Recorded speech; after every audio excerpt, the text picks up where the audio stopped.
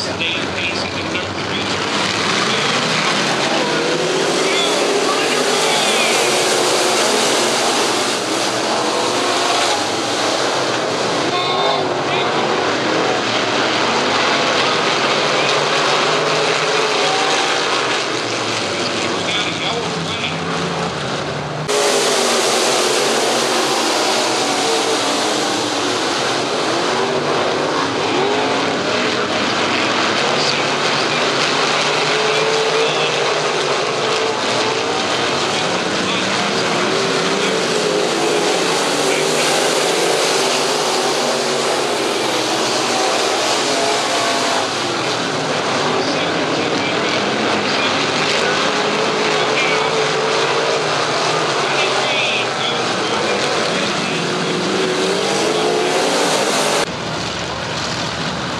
This just into the news group, the